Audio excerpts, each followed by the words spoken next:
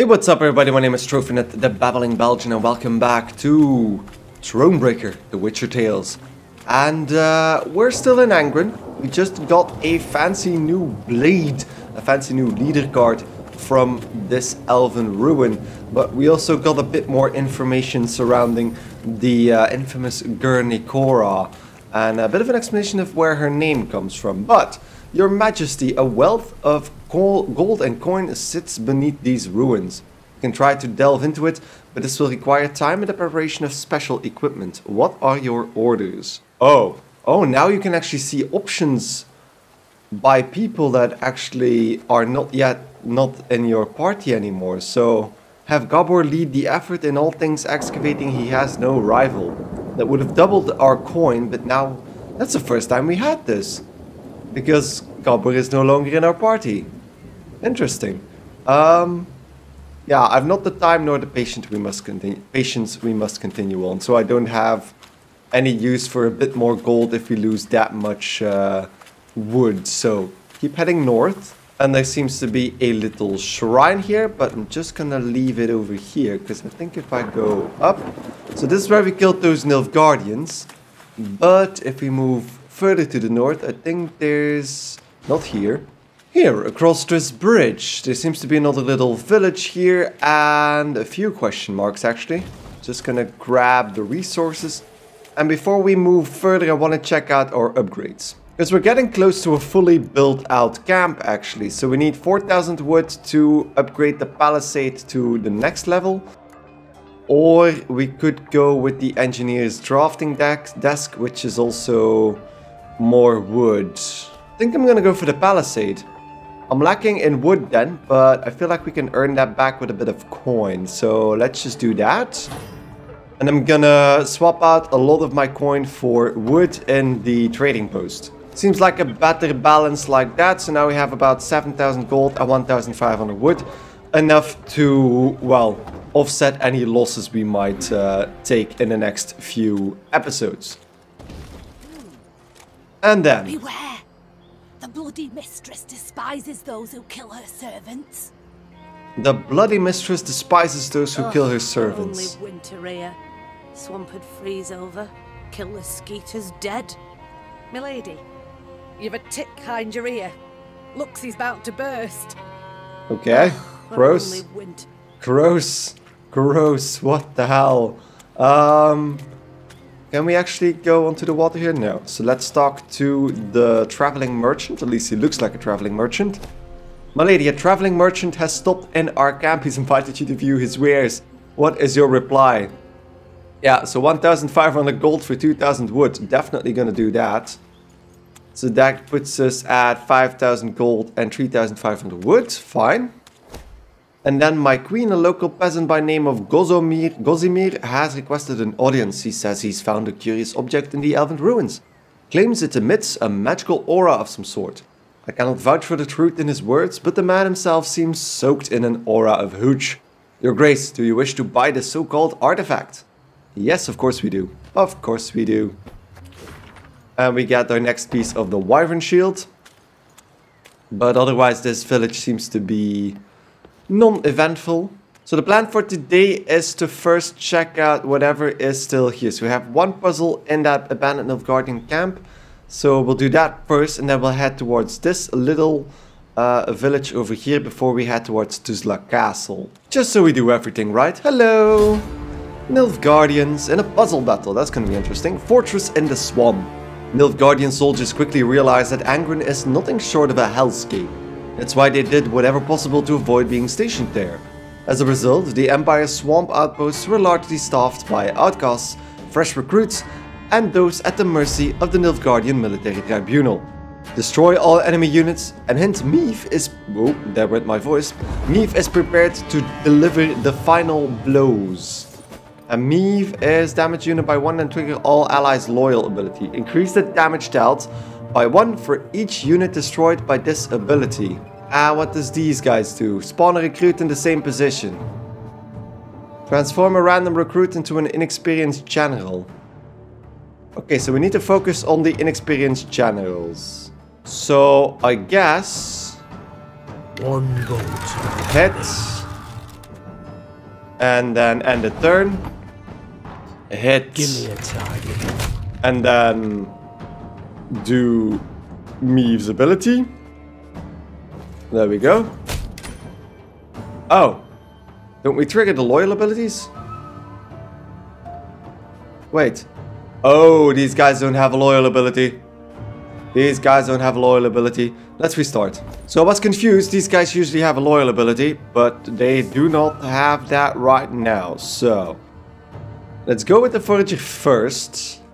I only loot corpses. Since he'll serve us to double up the damage. So if we then end the turn, we can use Illyrian Arbalests One bolt to damage the inexperienced general. The sigil is the sigil, sigil, sigil is on a three turn cooldown, so I probably only can use that when we can actually kill something. Because if I now put another arbalest down, I don't actually kill. Oh wait, damage a unit by one, then trigger all allies' loyal ability. Increase the damage dealt by one for each. Why is, does that say times two now? If I do this Give me a target. and then the turn. No, we don't get extra charges, but this. One. And there we go. So that killed uh, a unit. And now I can use Arbalist at your command. this ability like that. Now use the cooldown to use the mantlet to mark one of the Lyrian Arbalests. There we go. Now I can use Meve again, but she only does... Yeah, she does 2 damage, so there we go.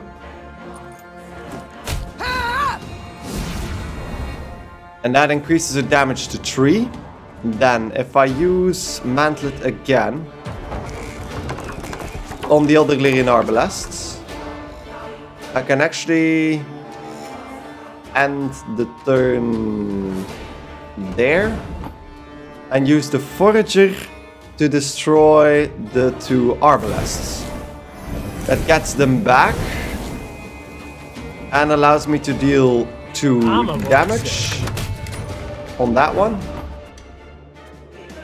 And then deal 3 damage. That gets that guy up here and the turn. Then I can do 2 damage One bolt I need. and deal 3 damage with Meve. But I'm gonna lack enough to kill them off, off, I think. So I think we were on the right track. So if I use the Forager I first, only loot corpses. Except sometimes. and then use the first Lyrian Arbalest, I get 2 damage, which is good, and the turn. Use the next Lyrian Arbalest to do 3 damage. There we go. Use uh, end turn. Then use the next Lyrian Arbalest has 4 damage. And now we can do 1 damage on this guy. Because for some reason we start with 2 charges on the Sigil ability. So that's good. Then we end the turn. Use the next Lyrian Arbalest Give like this. So we kill him. And the turn.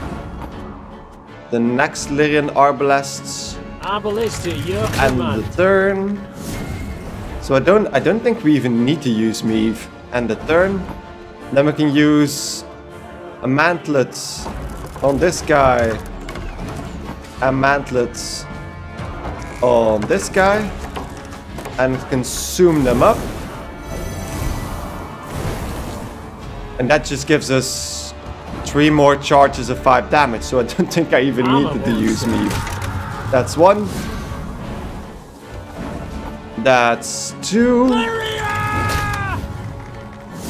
And okay, the hint was really confusing there, but we didn't actually need to use all that much. There we go. Easy peasy, victory. So that was weird. For some reason, the tip was almost completely irrelevant. I used her ability once and that was it. So we have a map. Is that the scamp? That's the scamp, right? Yeah, there we go. That was that was a very stupid map. Because it was right where we were. So the animated Gimpy Gerwin card, the asshole. And then we have a letter from Duke Ardal aep Dahy to Colonel Lake Trifirten. Colonel, I entrust you to you a mission requiring the utmost discretion. Count Caldwell's usefulness to us is nearing its end. He must soon be removed, but in such a way as to avoid causing fear among our other allies in the north. Given the Count's well-known passion for wine and spirits, poison should prove most effective. We shall put the plan into action once McQueen Meve is no longer an issue. It shouldn't be long now. Await my signal.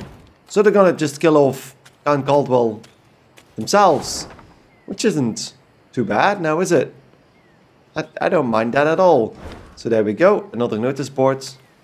And I'm just gonna grab this little shrine while we're at it to boost morale. And then we can move towards Tuzla Castle. I think there's two more question marks. And then we should be able to enter the castle. So I don't think that will be for this episode, but definitely next episode we're going to face Count Caldwell himself, even though it apparently doesn't seem You're to be great. necessary. The charts say we near Tuzla. Angren renders charts helpless to show the way, I fear. Soon we shall halt to sight our exact position. We will know then if our path is true. As you wish, Your Grace. Okay. Then we have a fast travel point. And what is this? Sensing a limp in her mount's gait, Meve ordered the column to halt. There was a thorn in her mare's hoof, burrowing deeper with every step. The horse whinnied and pulled her leg away, but Meve knew how to calm her. She stroked the mare's cheek, whispered slow words in her ear. She then extracted the thorn without difficulty, I'm sorry to interrupt, said the druid from behind Meve's back. yet this is where our paths diverge. We've a modest gift to thank you for the road shared, and for your aid at the obelisk to the marsh gods. Meve wished to respond, but the druids had turned toward the woods, their satchels slung over their shoulders. The queen waited till they were out of sight to open the bundle. Their gift was by no means modest. Indeed. So a thousand gold and 500 woods, that's definitely handy. And then, Your Grace, one of our scouts had discovered a tree hollow filled with gold and precious stones. When he reached in to fetch one, all he got back was his own bloody stump of a hand. There's something inside that tree and it's got some very sharp teeth. So uh, this seems a suitable task for Egg. Have him deal with this mystery beast. There we go. Egg is becoming really, really useful. Trees no longer wish us here. They call for someone else. This land is sick, defiled by a parasite that grows hungrier each day. Corruption flows from Ysgith.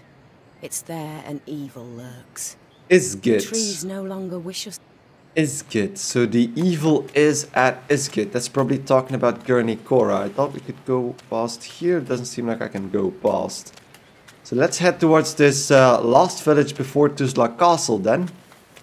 Guess there might be something here, right? At least there's resources here. And another shrine. So that means we're definitely heading into a battle over here. Okay, this seems like fun. Oh, lads, I don't fancy twigs, but you're ever good for pokes, and I'm ass over tits. Meve and the horseman beside her exchanged a perplexed glance. They'd heard the song clearly, both its tune and its verse. Whoever had hollered it had to be close, and given their diction, rather well oiled. Rather well oiled, that's a way of putting it. Moments later, a hamlet appeared to the Lyrian's tired eyes. She's off her A great bonfire blazed at its center. Around it danced peasants, barefoot, giggling, hooting, joyful and carefree. One by one, they noticed the queen. Soon, all were silent, huddled together, children peering from behind their backs. Fear not. Said Meave. We mean you no harm. What do you celebrate? A lad's grooming? Nuptials? Nay, milady. Hell yes. The gods have been kind. Filled us nets and snares with game. Come time we thank them. Yes. You've things to be thankful for. We do, milady. And we's poor folk. So a queen. Well, you must as well. Your Majesty, stay tonight, feast with us. I- There'll be music and plenty of room by the fire. Um. Are, are these guys celebrating Gurney Gernichora? Because otherwise I don't want to be here. Um, gladly the night is young, sadly we must ride on. Um, okay, yeah, fuck it. I've, I've been saying uh, yes to everything. Why not? Began Meve, daintily dismounting. We all deserve some respite, I suppose. The Lyrians needed no convincing. With astonishing haste, they removed mail and helmets, then eagerly joined in the fating and dance. Amidst the trilling of flutes, fifes, and fiddles, all those gathered revelled until dawn. They could rest at last, forget about Nilfgaard and the many beasts that prowled among the reeds. They'd long remember that night. The carefree laughter, peasant maids whirling in dance, the ale cold as a mountain spring, and the bread they crisped over the fire. One exchange in particular etched itself into the Queen's mind. Why do we go an to this view? She overheard. Not a little. Not even a teeny tiny bit. Okay. I'll say it again. It's not your concern. Of course it's not. Wouldn't be so damn curious if it were. So be it. Keep your silence. But um, those eyes like the summer sky, that hair like waves of grain. I see the way you gape. I think they both like Meve, but uh, this is starting to be a bit weird. What do you two speak of? Of you. Uh, Your Majesty. Ah, ba da ba ba da ba ga ba. Couldn't have answered that better myself. Who does Reynard gape at? Awkward silence. The silence. new ballista, what else? Ah, what a piece of work. Pure art, I say. Can't tear your eyes away for an instant. I like Gascon. Gotta admit, I really like the bastard. So, um, don't play me for a fool. Haven't you two held enough from me already? Yeah, point taken. Don't play me for a fool. What's this about? Meve, honestly, y- you do better to. It's a private matter, Your Grace. One of the heart, you might say. Ah, I'm just gonna poke that till he dies. If you'd allow it, I'd rather not share the details of our conversation. All right. I'll leave you to discuss whatever men discuss. Consider me gone. Meve turned and walked back to the fire, sat down on an old stump. Ha! That was close. I. Shh. I love these two. and the faintest of smiles crossed her lips. Of course, because she knew what they were talking Eve about. expected the villagers to request recompense for their welcome. Yet the peasants made not the slightest mention of coin, and the queen was much moved by their kindness. Once again, those with the least had proved the most willing to share. The Lyrians did not assemble come the morn. The force marched off in the afternoon, unshaven, unbathed, dishevelled. Not normally one to overlook contempt for discipline, that day Meve understood even soldiers needed to let their guard down. At times. Wow, that was a party without any negative consequences. Okay, I'm glad for it. I really like that when that happens. Not that it happens a lot, but let's have a little chat with these people as well. Admire, admire, ample harvest yield, for our mistress all need be kneeled. Uh oh. So yeah, I was kind of correct on that front. They were celebrating Gernichora. Round my garden appeared an eager leech, and I offered a drink, offered a drink. Oh god. Round my garden. Yeah, yeah, okay. These people are a bit. Ugly bad, ugly bad, play us more your prose. Sing again, we'll dance a bit, and then we'll fix your nose. Okay, ugly bad, ugly. okay. but that will fix your nose. Okay. Anything else? Anything else? I don't think there's anything else. We had a lovely party, and now it's time to move on. So, since nothing happened, um, we actually have the time to go to Tuzla Castle, which is exactly what we're going to do now. So, uh, with that rest and a bunch of drunken soldiers, let's attack Tuzla Castle and uh, get some revenge on Count Caldwell himself. Hey, bastard! Bastard! Get over here, you scaredy cat. Oh, section end. You are approaching... Ooh, uh, give me a second. I didn't think that was actually going to be a chapter end. So, I used my scouts to reveal further parts of the map, and that chapter end told me that I missed one golden chest, but on the map I can see one over here as well, past Tuzla Castle. So I'm gonna take the risk and actually try and just do it like that. Assuming I didn't miss a chest, and we can just move on past the castle after this. This is gonna be interesting, because why wouldn't we be able to go back? So let's just recheck this. So we only been here for four hours and a half. Four and a half hours. We completed seven quests, five puzzles, and six standard battles. And apparently we only found six out of the seven chests. But I don't have anything else to do, so let's continue on our way. In Angren swamps, one can easily lose one's way. Thick fog fills the air, paths end without warning, dense thickets obscure the distance. The sole way to determine one's position is to climb a tree and peer out over the canopy. This duty fell to Meve's scouts, while the force halted below. During one such delay, Meve caught the words she'd longed to hear. Majesty! Tuzla Castle! Its tower! I see it! To her soldiers' astonishment, Meve cast off her gauntlets and started up the nearest trunk.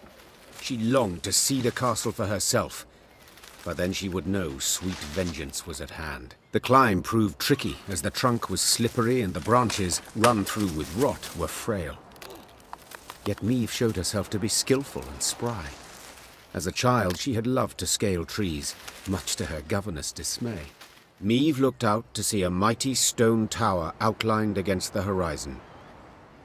Legend holds Tuzla Castle was to have had three such bastions. Yet King Ragbard, the fort's benefactor, had forsaken the effort when yet another stone transport simply sank into Angren's boggy roads. It was a moment of respite for Meve, a moment of quiet joy. She breathed and tasted air free of the bog stench, she took in silence undisturbed by the hum of mosquito swarms. And she relished her prospects. The coming battle against Caldwell. Attack the castle. The soldiers stood exhausted and filthy, many with raspy coughs, all sick of the meager gruel. But with the command to advance, a new strength sparked within them. Their step was lively, a fire burned in their eyes, each hoping to spill Caldwell's entrails, then dash them upon the fort walls. Yet as they drew near the stronghold, perched atop a stone isle, their verve dwindled, enthusiasm waned. They had taken fortresses with thicker walls, taller towers, and manned by more men. Yet they'd never seen nor laid siege to a fort standing on land so ill-suited. To rush the bulwarks through waist-deep mud, was this even possible? Prove I was no fool to keep you at my side, said Meve, turning to Gascon and Reynard. A slaughter I must avoid.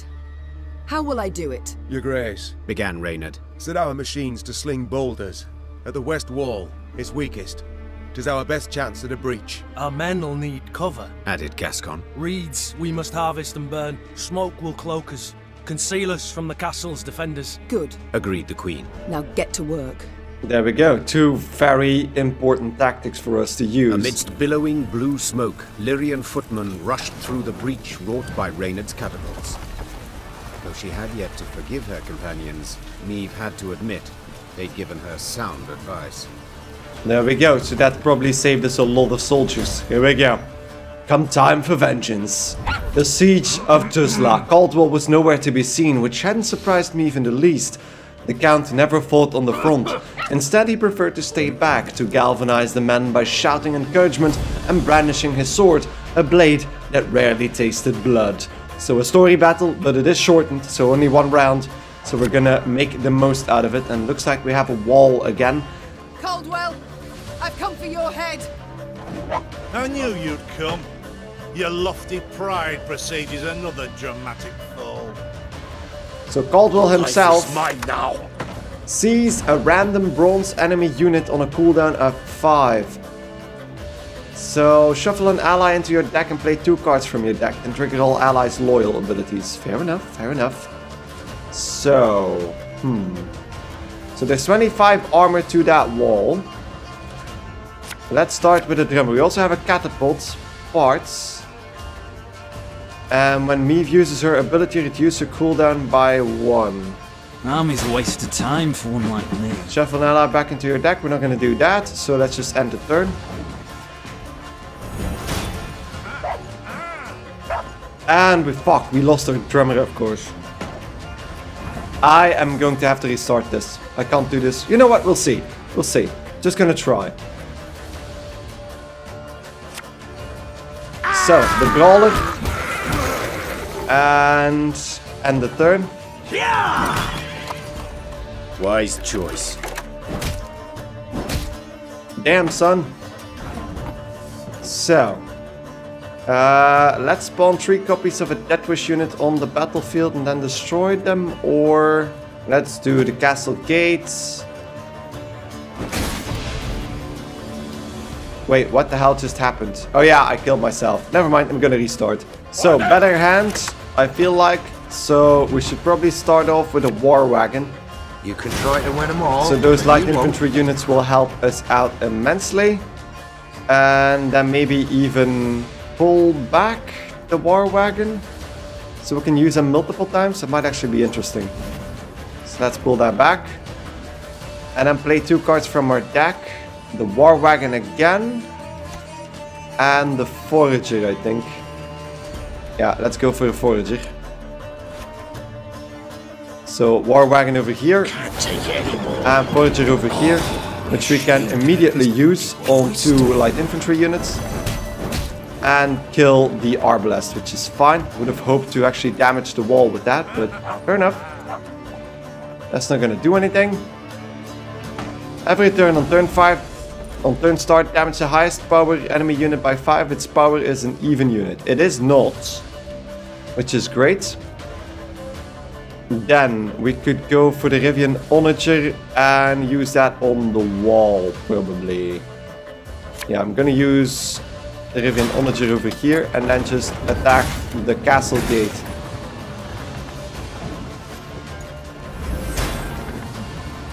Life is mine now. Another damager, which is fine by me. We can also use another drummer. There we Army's a waste of time for one like me. And then the turn. And they're probably gonna focus on the Onager, yeah. Um, now, I'm gonna put down another Onager.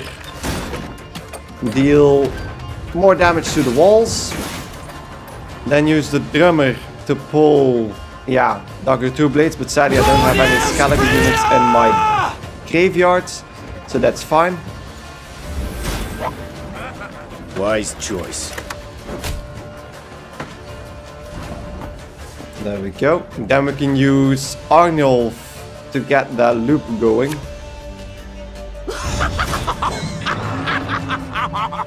Damage an enemy by the total number of enemy units, which is fine. And then the turn.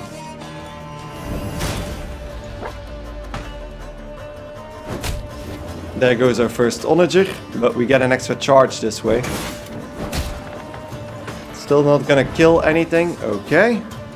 Now, uh, if I go for blood, I can look at five cards and play two of them. Which means I'm gonna play the Lyrian Blacksmith and the Lance Connect. Because that means with the Blacksmith, Hey, hey, we can actually replay blood usable. like this, and then we can play the um, Arbalests and then the Sapper.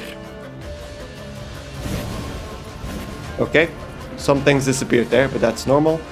The Arbalest over here. Every rib's a thief. Oh, the Arbalest over here. That was weird. It showed the Arbalest and not the the Lance Connect. So attack the castle gate with eight. That was actually 9 damage. Then the Rivian Sapper, you which We'll be able to kill off our little light infantry units over here. And then damage one of the arbalests over here. There we go. That's more 6 damages spread out. Then Arnjolf on the wall. That's 5 damage already. Then probably best to start attacking. Ah, I can actually kill off the castle gate, which is good. There we go. Castle gate down. And that boosts us by 2. Then our last 3 damage should go to this assassin. There we go. And then use Illyrian Landsknecht on... No, wait, wait, wait, wait, wait, wait, wait. I can use the Angrenny Blades to replace something. I'm gonna pull back Dagur. So if I use Meve like this, I can pull back Dagur. And then I can play Dagur, if I'm not mistaken. Yeah, I can play Dagur. But what else do we want to do? I think I'm gonna use Xavier and Dagur. Xavier will be able Get to give ourselves two charges, and then Dagur will resurrect all our dead me units, some of that.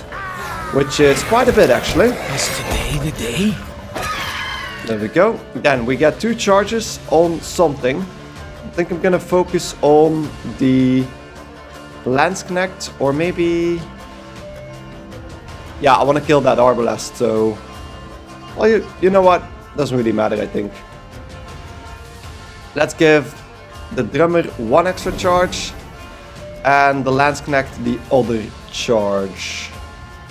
No, the Onager another charge. Because if I use the Onager on the Assassin, that puts them all to 8, and then I can do this twice and deal damage like that.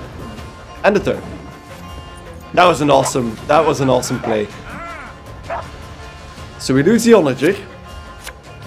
Draw a Lyrian and an Nilfgaardian unit. Interesting. That's not gonna help him too much. Now, force an enemy to damage disgraced warrior by its power, then damage the enemy by disgraced warrior's power back. Um, I think this does 5 damage, that's not good, but disgraced brawler can do 2 damage on a lot of dudes. So black infantry, Arabian onager, there we go. Then duel with the arbalest and duel with one of the assassins. Use a regiment drummer. No, wait, I'm gonna protect. How am I gonna do this? I am gonna immune. Yeah, I'm gonna immune all my never stinks, top no units. matter how well. Archers shouldn't be any more trouble. And then we got killed by destroy the next unit plate from your opponent's hand, but we did get the immunity, which is great. That actually immunes everybody. Every turn on turn start boosts adjacent units when they this guy has armor. So might as well uh, take off that armor, right? So that's five. Then the Northern Wind card. There we go. There goes the armor and the assassins. And use the regiment drummer to get yeah, Grey Rider. I live to serve you. Not that big of a problem, I think. He won't be able to move anymore, but that's not an issue. And he keeps pulling cards. Then uh, Arnjolf the Patricide on the Imperial Enforcer. Reynard Siege, transform catapult parts into catapult. Ah, I should have seen that sooner. They changed his ability as We well. must exploit the breach in their fortifications, your grace. Destroy the palisade. God damn it. well, never mind. We won this anyway. That is interesting. So he could just turn the turn it into a catapult, and I made a mistake because now I can't use Isbel. Make love, not war. So I can't, yeah, I can't do anything with this. Um, and then just 4 damage on the armor, and that's pretty much it, because I can't do anything anymore. Okay, we'll see how this ends. For the Queen! I'm assuming I'm gonna win. God save the Queen! Although that seizing is annoying. To the last! That's 90, 92, and 107. Goodbye, No Caldwell. one touch him! The Count is mine! Count Caldwell is down. Many of Meve's victories have been immortalized in poetry and song, but not the fall of Tuzla. Lyrians fought Lyrians, brothers killed brothers, in rain and mud midst a cursed swamp. Certainly nothing to inspire a bard. Near the battle's end, Meve stormed the great stone tower to which Caldwell had fled. The queen ascended the stairs, dealing blow after blow, blood cascading down in her wake. She reached the top floor to find the count waiting, with no intention to defend himself. If it's mercy you expect, you'll be sorely disappointed. Mercy. I know you all too well for that, Meve. Ever vindictive and cruel. All this from a paragon of knightly virtues. You stabbed me in the back, Caldwell, and used Willem to do so. My son! Who agreed without a moment's hesitation? Forsaken by your own son, your flesh and blood. What's that say about you? Oh, you tread on thin ice. Choose your next words carefully. Spare me your threats. You'll kill me all the same. Death can come in many ways, Count. Some quick, some slow. My, my. How you strut and vaunt. Terribly sure of yourself. Perhaps too sure. Your castle is mine. I've crushed your force. I dare say no, I'm not. Precisely my point. Don't you see? The Empire's not one army, it's dozens, hundreds. It's what I strove to knock into that thick dome of yours. Alas, you're too much a dullard. Soon as I'd learned you'd crossed into Angren, I sent for reinforcements. They'll be here soon. Three regiments, armed to the teeth. Or not. Because we found that letter before that Ardal aep Dahy actually wants Count Caldwell out of the way anyway. So this is an easy way for him. Um, I'll face them too, or I shall be long gone. Yeah, well, we don't need this castle. They'll find your corpse impaled upon a spike, while I'll be long gone. By which path, I wonder? Well, there was a back path out of the castle. But one bridge leads to Tuzla. As it happens, I ordered it raised as you laid siege. The swamps around the castle are too deep to cross. Try to rebuild the bridge, the Imperial troops will arrive before you can finish. Your men they'll slay as you watch, and then they'll wring your neck. I wouldn't be so pleased were I you. You won't live to see this outcome. I know that, but I take heart in the truth. Though the castle you've seized and will likely kill me, I've won. Outsmarted you, Meve. Twice now. And you know what? Twasn't even that hard. With those words, with his arrogance and contempt, Caldwell had gone too far. The Queen gripped his shoulders, pushed. Caldwell stumbled backwards, then tripped out the window. A blood-chilling shriek filled the courtyard, then broke off abruptly. Now fool me thrice. Try. Meve slapped the dust from her hands. The traitor had met a deserving end at last. Yet this was no time to revel in the Count's demise. If Caldwell had spoken the truth, the Queen and her army were in grave danger. So we didn't even get a choice there. That was just throw Caldwell out of the window. Meve scouts quickly confirmed the traitor's claim. The bridge was indeed in flames, and Nilfgaardian regiments were advancing from the south. Now to confirm if there was truly no other route by which they could flee, the Queen ordered her men to ask the local peasants. One of their number, a stable hand who'd lived near Tuzla all his life, claimed a secret path led out the back of the stronghold. King Ragbard himself ordered it built. Had him drop great stones into its swamp, one after another, like beads on a string. Bitter water covers them, so you can't see nowt at start. Can make 'em out if you go proper slow, though. What is it? The stones, they lead to Ysgith. And there, my lady, lurks an evil worse nor any black-clad army. What? A beast of some sort? Some say beast, others god. Gernichora, they call her. And you'll yet see, my lady. Ysgith shines red with her blood. Okay, there we go, Gernichora again. A silly tale to frighten children, Meve thought at first. Then paused. For something about the man's voice made his every word believable. None too encouraging. Yet preferable to certain death. Tell me, from Ysgith, will we reach the banks of the Yaruga, near Red Lobendon perchance? Aye, your majesty. You need but head north. And pray all along the way. Okay. Soon, Meve stood where the stable hand had said she should, at the edge of a vast marsh. Carefully, she dipped a foot into the broth and probed for solid ground.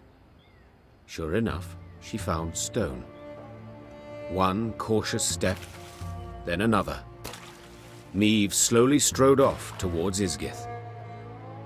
I love how this game is set up. The sound design during those scenes is perfectly on point. So, reinforcements added to your command tent. Another special card, that we get a lot of gold and a lot of wood. Revenge is best served cold. We don't get to raid the castle ourselves, but this seems to be a path forward. So I'm gonna take a little break. So thank you guys enormously for watching. Hope you guys enjoyed this episode. And on the next episode, we'll be heading towards Ysgith, the home of Gernichora herself. So thanks enormously for watching. Hope to see you guys in the next episode of Thronebreaker, The Witcher Tales. Goodbye.